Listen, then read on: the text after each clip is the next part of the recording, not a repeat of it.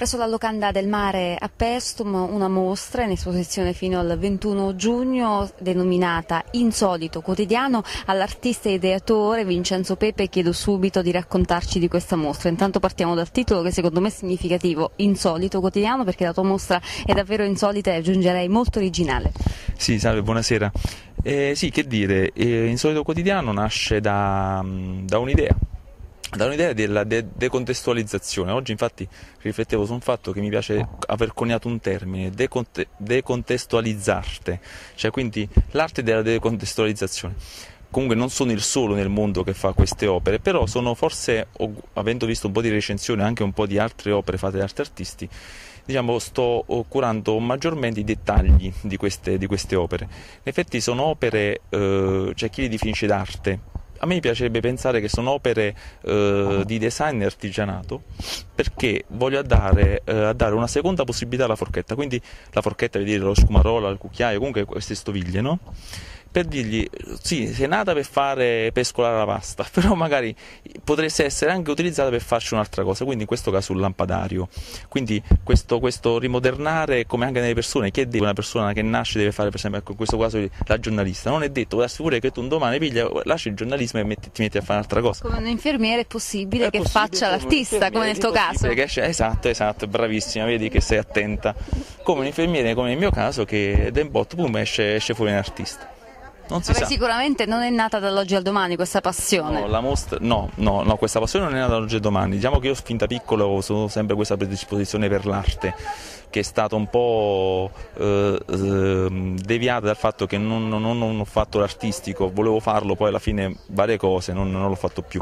Però questa cosa qua recentemente, qualche giorno fa un amico di Agropoli mi ha detto Vincenzo guarda io ti ammiro perché sì io ho fatto il liceo artistico, ho fatto l'accademia, ora scolpisco la pietra, però tu sei meglio di me, perché? Perché tu sei vergine a questa cosa, tu non, è, non ingrippi sull'artista, la, la, corrente letteraria che ha fatto un determinato tipo d'arte, però sei perfetto per questo tipo di, di genere di, di, di, cose perché riesci subito a cogliere quello che può piacere, quello che può eh, e sai, sai, modificare appunto la materia, in questo caso l'acciaio e hai delle idee secondo me brillanti. Questo mi ha fatto molto piacere, questo, questo, questo detto da una persona che fa arte, cioè lui è nato artista, cioè da, da, ha fatto tutte le scuole, ora è un ottimo scultore.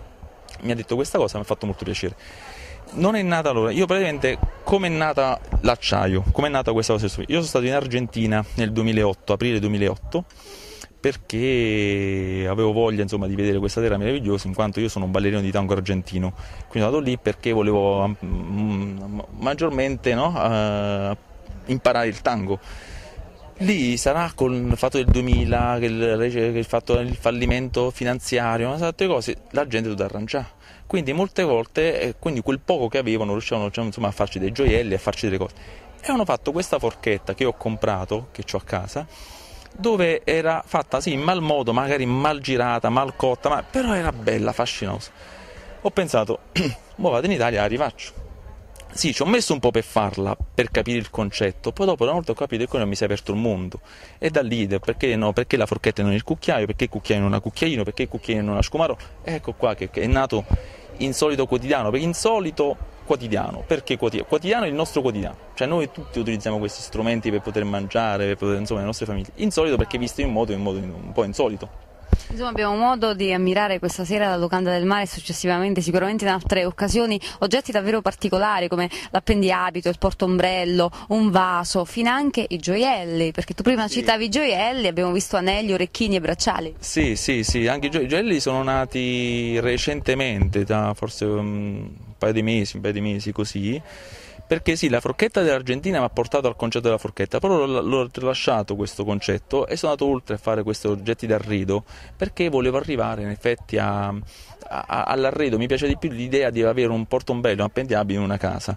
Però poi i gioielli comunque sono andati oltre perché comunque ho visto che il gioiello può piacere di più, può comunque avere più presa nelle persone e quindi è nata questa cosa e quindi sto facendo delle cose tipo collane o bracciali o collanine o anelli utilizzando sempre queste forchette cucchiai piegate dove tu riconosci che è un cucchiaio, però non te l'aspetteresti che quel cucchiaio potrebbe avere quella funzione, quindi questa decontestualizzazione anche del, insomma, di questi oggetti. Un'ultima cosa Vincenzo, tu dicevamo prima fai l'infermiere, come riesci a combinare le due cose? Eh. Eh, questo è un casino, questo è tema di discussione ogni giorno con la mia ragazza, tra l'altro, perché eh, io faccio l'infermiere, eh, lavoro anche sul territorio, lavoro in ospedale e poi devo avere il tempo di fare queste cose qua, di fare le mostre, di organizzarmi e di avere tempo anche per, per lei, quindi diventa molto, no, veramente difficoltoso, sono più di un mese che dormo tre ore a notte, vedete un po' voi, insomma, sono un po' è così, vabbè, però si può fare, insomma, se una cosa piace, poi quello che ti, dissi forse già un'altra occasione, c'è il fatto che ehm, se uno lo fa con passione, se uno lo fa con amore, se uno lo fa con dedizione verso il proprio lavoro, come io lo faccio con, con i miei pazienti, penso che anche per queste cose, così come anche, anche quei 5 minuti dedicati, per esempio alla mia ragazza, quei 5 minuti valgono oro e quindi sono, sono ben curati, ben, ben mirati, così come anche le mie opere. Io le penso molto, le mie opere, ah, una cosa, che io non disegno opere a me non mi piace disegnare, cioè non, non sono capace perché non ho la tecnica, non ho fatto il liceo artistico, non ho la tecnica del disegno, non so disegnare. Allora che faccio? Io ogni opera me la penso in testa, la penso, la misuro in testa, ci faccio tutte le coordinate in tre dimensioni, tutto in testa, e poi dalla testa passo direttamente alla pratica, cioè senza passare al disegno, allo schizzo. Quindi è anche difficile per far capire a chi mi aiuta a saldare a volte, far capire quello che devo saldare. Comunque si riesce. Ricordiamo allora che la mostra Insolito Quotidiano è visitabile fino al 19 giugno alla Locanda del Mare. Grazie ed auguri a Vincenzo Pepe e a Luca Gargiulo. A presto.